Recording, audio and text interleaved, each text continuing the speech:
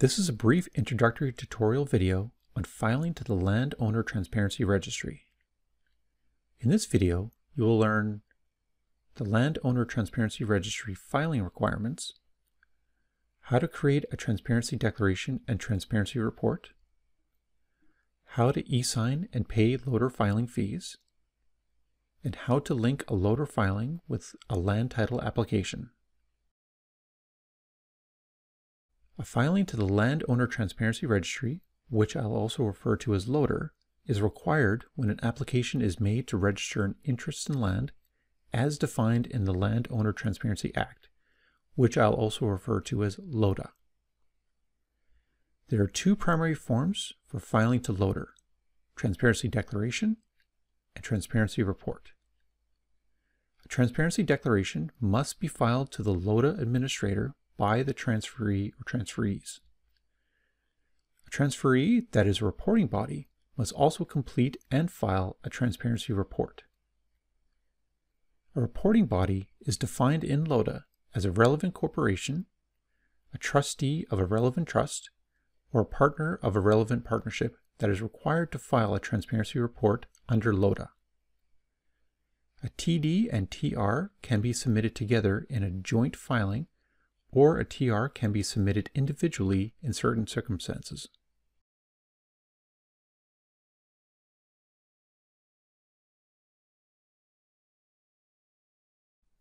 To begin a LOTR filing, click on the Submissions menu and select Landowner Transparency Registry. From the landing page, click on Go to LOTR Filings. Most filings will begin with a transparency declaration but when relevant, a standalone transparency report can also be created. Enter information in each section of the transparency declaration. If the transferee is a reporting body, a transparency report will automatically be created by the system and will be nested under the transparency declaration on the LOTR filing page. In this example, the transferee is not a reporting body. Information is automatically saved as you press continue through each section of the transparency declaration. If you need to close the transparency declaration without completing it, you can use the Save Progress button. To quickly jump between sections, use the left side navigation. The transparency declaration must be signed by a certifier. The certifier is someone who has knowledge of the matters certified and authority to certify the document on behalf of the transferee or reporting body. Who the certifier is in each circumstance will depend on the transferee or the reporting body.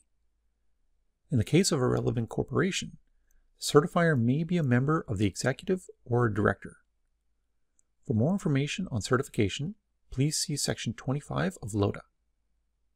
There must be at least one certifier per transferee. When you've completed all of the data entry, Validation will ensure that no mandatory fields have been missed and that your filing is ready for next steps. You may not e-sign a document or file a package with red errors. However, you may e-sign a document or file a package with orange warnings if you believe that the form is correct and complete.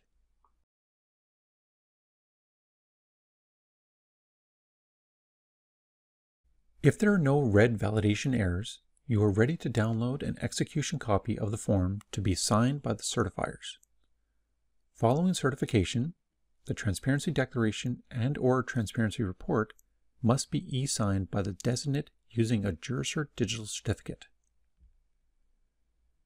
Even after e-signing, you can make changes prior to the filing. However, it will be necessary to have the certifier sign and date the new execution copy before the designate can reapply their digital signature to the form. Once submitted, a LOTR filing can no longer be edited.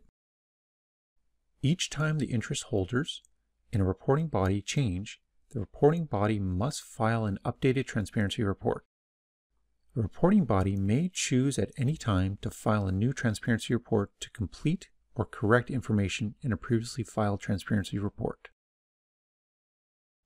All LOTR filings must have the appropriate fees paid after the designate e-signs and before they are filed to the Landowner Transparency Registry. For standalone transparency reports, press the Submit button from the execution copy page. For transparency declarations, press the Pay LOTR Fees button. The filing status will change to Ready for Submission. Take note of the Transparency Declaration ID number indicated on the page. You are now ready to associate the LOTR filing with your land title application.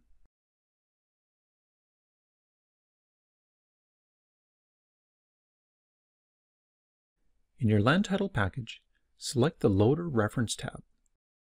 Enter the Transparency Declaration ID number in the Transparency Declaration ID number field and press Add. For land title registrations that are excluded from filing a transparency declaration, check the Exclude from LOTR box. And click on the Type of Exclusion drop-down box to make the appropriate selection.